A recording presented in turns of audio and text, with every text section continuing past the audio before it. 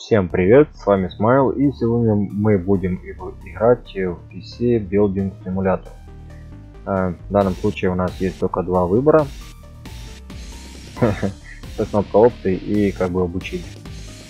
Эта игра рассчитана для тех, кто хочет э, собирать ПК или как бы планирует ее купить.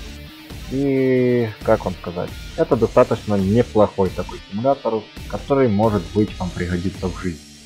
Я думаю, что много кто хочет э, научиться собирать ПК, но не знает, как это правильно сделать.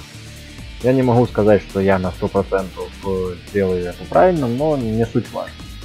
Так, ну что ж, э, дорогие друзья, нас э, по началу входа приветствует окно приветствия, где написано, что кнопочка И это открыть инвентарь, кнопочка Т это закрыть это диалоговое окно, или же кнопочка Q, чтобы выйти из обучения. Ну, давайте я нажму кнопочку Q. И давайте для начала мы установим стоечки. Называются они в игре стендов. Раз, два, три, четыре, пять, шесть, семь, восемь, девять, десять. В данном случае у нас используется материнка формата ATX, то есть полноразмерная. Бывает э, еще мини ATX, то есть она приблизительно идет вот так. Ну то есть часть. И бывает еще микро ATX. Она еще меньше. То есть там практически а, один вход, или точнее выход. Или два. Ну то есть не принципиально, но очень мало. И используется на меньшее количество болтов. Но так как у нас полно, полноразмерная, то мы установим. А, игра развивается, так что не переживайте, может что-то новое добавят и такая ерунда. Так, ну что ж, э, давайте установим вот эту вот EOL Child. Это у нас заглушка на заднюю панель. Дальше. Устанавливаем материнскую плату. Э, в данном случае у нас Asus на 67 чипе. А соответственно это у нас под Intel LGA 1155. Так, а, давайте откроем а, слоты оперативной памяти. Ну, ключи, замки, кому как удобно. Как видим, у нас здесь есть пазики. И если кому интересно, это для того, чтобы вы не установили, во-первых, другой тип э, оперативной памяти, так как они бывают э, DDR. Ну, это я говорю о тех, что сейчас более-менее как бы еще существует. То есть DDR это формат до 2000 6-7 года. Или даже 2005 потом DDR2 это уже более современное ну как относительно. То есть если кто сидит на Core 2 Duo или Core 2 Quad или AMD AM2 сокет то как бы не знает что у них оперативка DDR2 DDR3 это у нас в данном случае и DDR4 пока еще пятого нету но возможно будет. Так, ну что ж, давайте рассмотрим, какие еще есть здесь интерфейсы. То есть, оперативку я уже рассказал. Дальше, давайте посмотрим задняя панель. Вот это вот круглая верхняя, это используется для подключения мышки и клавиатуры старого типа. PS напополам называется. Или PS на, на 2, ну кому как удобно. Здесь, я не знаю, это, наверное, для подключения автоволокна. Этот коаксиальный кабель я не знаю для чего, тюльпан точнее. А, предполагаю, что это для видеовыхода, либо похоже на разъем HDMI. Это, я так понимаю, наверное, USB. Это USB. Это USB. Это тоже, э, блин, это точнее я так предполагаю, для подключения внешних жестких дисков или что-то наподобие. Точно не скажу, так как этим я не стыкался, хотя в компах я вроде достаточно давно, но не суть важно. И вот это вот голубое или голубые синие разъемы, это у нас USB 3.0. Ну и соответственно два Ethernet порта или два сетевых ну, не знаю для чего на этой материнке 2, но не суть важно. И 6 контактов точнее 6 разъемов у нас аудиовыходов. Ну, они могут и использоваться для других датчиков, но это уже как бы не принципиально. Дальше. У нас на материнке расположен еще 8 пин питания процессора. Может быть 4 пин, то есть вот так вот половина.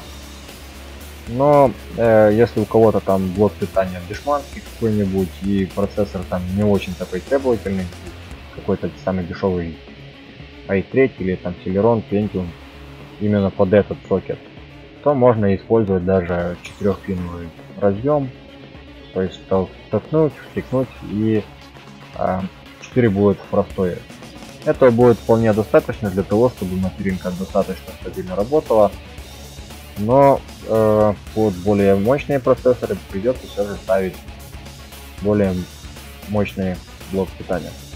А здесь вот эти вот дырочки, это кстати там где у нас стоят стоечки, здесь закручивается обычный блок. А, дальше. Вот это вот четырехпиновый такие контакт.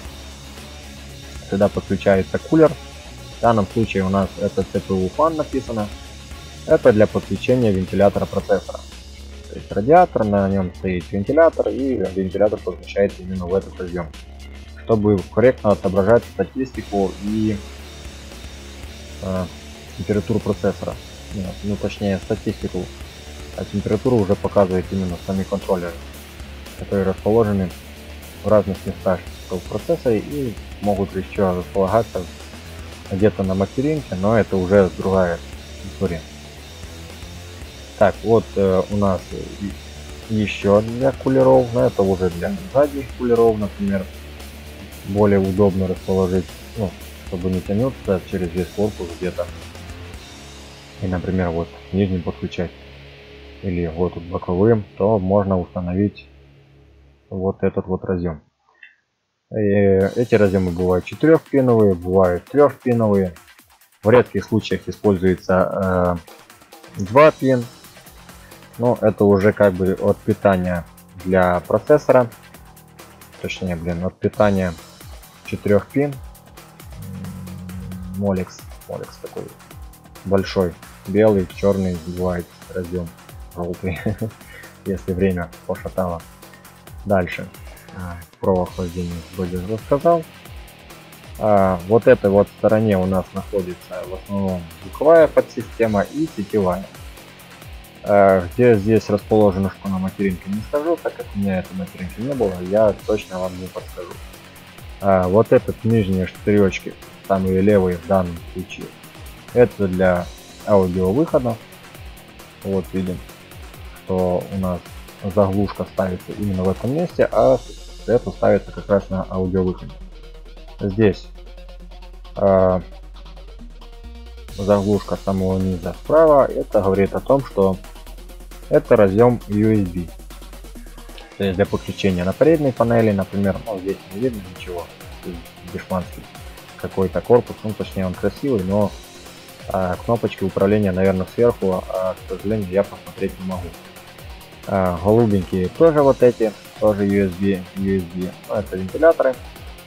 А, и вот этот вот большой разъем, это для того, чтобы подключать, э, как оно называется, USB 3.0. Это у нас для подключения SATA диска, в данном случае у нас используется SATA 3, вот видим написано SATA 6 ГБ. И если кто знает, то SATA 2 было 3 ГБ секунду. То есть это максимальная пропускная способность, которая есть. Но на жестких дисках такая скорость не используется, ибо они медлительные. Такой приблизительно скорости могут дойти жесткие диски в RAID массиве, но это уже другая тема истории, и я об этом рассказать не смогу, точнее не в этот раз. Может быть, если в игре реализуют какое-то примитивное программирование или включение BIOS и тому подобное, я покажу. Ну, правда, я в этом сомневаюсь, хотя игра сегодня обновилась и добавили некоторые фишки, которые не работали перед этим. А где-то здесь расположена кнопочка BIOS, ну, точнее не кнопочка, а BIOS, я так думаю, что вот этот вот маленький. Ну, как бы, не знаю. А, дальше. Давайте рассмотрим. У нас есть цветовой индикатор. Э, это для отображения кода. работы системы. То есть, возможно, если там возникнет какая-нибудь проблема с оперативкой или там видеокартой, она покажет, что там, ну, какое-то значение, например, 2E, там 4S и тому подобное. И согласно инструкции можно посмотреть, в какой подсистеме у нас ошибочка. Дальше вот эта вот колодочка у нас отвечает за подключение передних э, э, кнопок управления, то есть кнопка включения, перезагрузки и также цветовая индикация, то есть комп включен или выключен и загрузка. Но также бывает еще лампочка или точнее цветовая индикация на э, еще какой-то модуль типа там гипертрейдинг и тому подобное. Но я не знаю здесь реализовано или нет. Э, кнопочка вот перезагрузки. То есть, если кто криворукий не умеет сюда подключить, можно запускать с материнки. А к тому же, это для тех, кто любит разгонять процессор и тому подобное, то как бы такую фигню можно реализовать. Дальше кнопочка включения. И вот есть колодочка с э, включением. Я так думаю, что здесь позиции 3 всего лишь. Это для того, чтобы использовать преднастройки BIOS по разгону процессора. Такое бывает и как бы достаточно интересно реализуемо и каждой подсистемы это по-своему. То есть бывает рычажками можно включать, бывает кнопочку можно включать. Здесь кнопка сброса BIOS, как я понимаю. И а вот это я не знаю для чего этот рычажок. Но тоже как бы разобраться в жизни можно. Так, дальше. Это я не знаю, что... Точнее, я не вижу. Предположительно, это PCI Express X1. То есть, ну да, то есть такой маленький. Ну, почему так думаю? Потому что как раз по размеру подходит он такой обрезан. А вот этот голубенький, беленький и черненький разъемы это PCI Express X16. Они бывают там 2.0, бывает 3.0, 1.0, ну как повезет. В данном случае я так думаю, что это 3.0 здесь не написано, да, то есть вот написано PCI Express X16 первый слот, второй слот и третий слот. То есть можно установить три видеокарты, кому как интересно. А, ну как-то так. Дальше у нас вот эти вот голубенькие разъемы для установки дополнительных компонентов э, по принципу типа сетевая карта. Если вам двух слотов мало или там, сгорело, например, ну, бывают такие случаи, что можно там бахнуло и сгорел э, сетевой чип, то бывает использовать внешнюю сетевую карту. А можно использовать здесь э, звуковую карту, тоже такой использую для более продвинутых систем. Э, USB, ну, USB в основном выводится с этой колодки и вот сюда ставится заглушка. Или там, например, Tuner, карта захвата и тому подобное. То есть э, вариантов подключения разных интерфейсов сюда много. Но что самое интересное, Intel не поддерживает эту функцию и ее как бы сами разработчики материнские эту фигню мутят с помощью э, микросхемы управления. Я так думаю, что это, это схема. В AMD, по-моему, эта фишка еще актуальна. Это я так предполагаю, что серверный мост, так как э, на нем стоит большой радиатор, и что самое, самое интересное, его называют серверный мозг, но при этом он самый горячий из всех элементов ну, по материнке. Здесь используется у нас э, питания, под этим радиатором они охлаждаются. Я так думаю, что возможно какая-то цепь на управление видеосигналом, так как у Intel есть интегрированное э, ядро. Но не суть важно. И вот вроде у нас остался еще один компонент, это 24P. Не помню, рассказывал я вам или нет, но не суть важно. Э, раньше использовался 20 пин, сейчас 20 плюс 4 или 24. В основном уже это не парится. 4 дополнительных для более мощной системы питания процессора, точнее не процессор, ну и процессора тоже. И видеокарт, как э, видеокарты часть э, напряжения снимают именно с этого разъема и берут на себя. То есть там до 80 ватт или 65, не, знаю точно, не скажу. Так, ну что давайте открываем сокет. Я все рассказал. Вроде как устанавливаем процессор. Закрываем сокет и берем термопас. Так, термопас. Вот такое пятно. Это говорит о том, что мол уже мы намажем. Берем охлаждение, стоп-кулер. Это обычный Intel кулер. Они бывают разные, бывают квашеного типа, водяного, воздушного. Как, как повезет и кто насколько раскошелится. Так, э, давайте установим оперативку. У нас здесь используется HyperX. Это, я так думаю, Kingston. Так, 2, 3, 4. Ну, впрочем, похоже на Kingston, но точно не скажу. Эти модули DDR3 или DDR, кому как удобно. Дальше. Э, это мы установили. Установили. Давайте установим жесткие диски, например. Так, раз, два, три, четыре. А, можно открыть слоты. Ну, точнее, это не слоты. Или слоты, а замки. Точнее, лучше назвать замки. Для DVD привода. Давайте поставим раз, два, три. Здесь еще есть такая фигня, как Drive Cooler, Cover, Drive Cover, да. Это чтобы поставить заглушку, если мы не будем использовать привод, но как бы мы уже используем. так, ну что ж, давайте замкнем. Здесь может использоваться винтовая система, то есть вместо защелок или механизма зажатия CD привода используется типа винтиком закручивать. Там 4 винтика, если что, если что, кому как интересно. Так, ну что ж, давайте приступим э, к дальше сборке. Устанавливаем блок питания, устанавливаем э, вентилятор, раз вентилятор. Вентилятор вот подключается вот эти вот трехпиновые разъемчики или же четырехпиновые, ну то есть я уже показывал рассказывал. Так, и здесь как бы здесь есть куда установить или нет. Раньше было в прошлой сборке, что можно было еще сверху. Ну, сейчас почему-то не курычат. Ну, ладно. Это нам не суть важно. А, дальше у нас осталось еще две видеокарты, которые мы можем установить. Раз и два.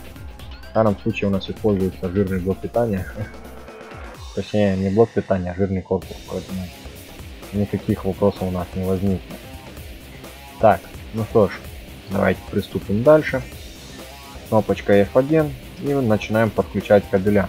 Раньше, чем мы все компоненты подключили, нежелательно подключать питание, так мы можем сжечь систему. Так, у нас здесь 8 пин, то есть посмотрите, 8 контактов, значит 8 пин. 8 пин PCI-E и 6 пин. 8 пин и 6 пин. Может быть система 8 плюс 8 пин, 6 плюс 6, 8 плюс 6. То есть э, как-то так. И может быть вообще один разъем или вообще без него. То есть питание может браться с этого разъема, точнее часть берется и часть берется вот питание. Это для того, чтобы не горел разъем. Ну, вроде так. Так, дальше. Давайте установим питание под... Как он называется? Под CD приводы. В данном случае у нас используются молексы. Это четырехпиновые контакты. Так, SATA, SATA, Molex. Molex. Э, с этой стороны мы вроде подключили. Э, с другой стороны мы сейчас подключим. Давайте включим материнку. 20, 24 пин, ну, то есть 20 плюс 4. И 8 пин, то есть EPS, EPS точнее, вот так. Э, с этой стороны мы материнку запитали, вроде все нормально. Э, дальше давайте кабеля установим SATA, SATA и SATA. Эти кабеля втыкаются вот, э, сейчас покажу, вот эти вот разъемы, кто видит. Сюда подключается CD привод, DVD привод, ну кому как удобно, и жесткие диски. Ну, давайте еще подключим жесткие диски. Так вот. SATA. Вот видим, что у нас подключается. Ну, это, кстати, кому вот будет интересно, это может заморачиваться. В данном случае у нас э, черный шлейф. Бывает разными цветами, поэтому, дорогие друзья, как бы не стоит заморачиваться. Так, SATA и вот еще пару SATA. Как видим, они ставятся парно в разъемы. То есть по факту я так понимаю, что здесь будет какой-то возможно в будущем реализован RAID массив. Но это нам пока не горит. Дальше устанавливаем питание. Раз. SATA Power 2. SATA Power 3 и SATA Power 4. То есть по факту у нас питание D а, под стенкой. Ну это, кстати, достаточно интересный корпус. У меня, к сожалению, дешевый дешманский корпус и у меня кабеля так не прячутся, как здесь. Но так как мы уже здесь все собрали, все подключили, давайте поставим а, Black Panel Mount установка. Так, вот, поворачиваем. Здесь еще ставятся заглушки, вот кому интересно, но, к сожалению, в игре их пока не реализовано. И к тому же это не принципиально. И здесь у нас все установлено. Так, жесткие диски все. CD приводы все. Так, ну все. А, чтобы запустить систему, надо нажать кнопочку F8. Ну как запустить? То есть здесь будут крутиться вентиляторы, а это будет говорить о том, что мол система у вас собрана. Ну, здесь провода у нас замикают, ну точнее зажимают кулер. Но это уже не принципиально. Если кому чего-то мало можно купить в магазине, не знаю, я не проверял. Но время, когда я проверял, здесь, во-первых, было по одному баксу, а во-вторых, постоянно покупалась только одна материнка. Но игра только в бете, она недавно вышла, ну, точнее дней 4 назад. И как бы таких интересных видео очень-очень мало. А, ну что ж, дорогие друзья, устанавливаем панель и видим, что у нас вот такой вот красивый комп. Вот. Ну да, жирный. Я бы себе не отказался от такого.